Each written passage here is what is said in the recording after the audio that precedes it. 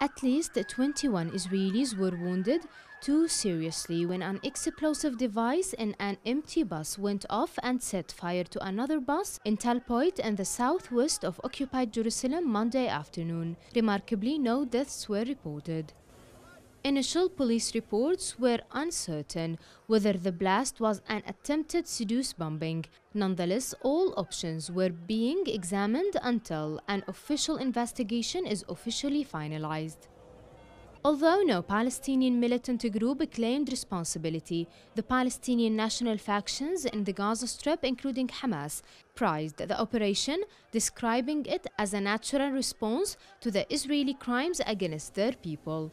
Islamic Jihad spokesman Dawood Shahab said that the operation is a qualitative development in the course of the Intifada.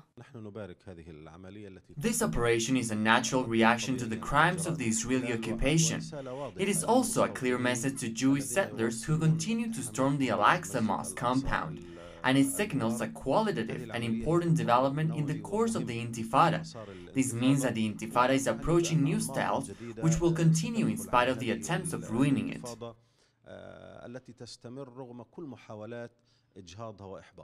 For many Israelis, the explosion brought back worrying memories of similar attacks carried out by Palestinians in Jerusalem several years ago. Palestinian analysts say the incident is a blow for Israel's Prime Minister Benjamin Netanyahu, who stated last week that the intifada in the occupied West Bank and Jerusalem has subsided due to his government's policies.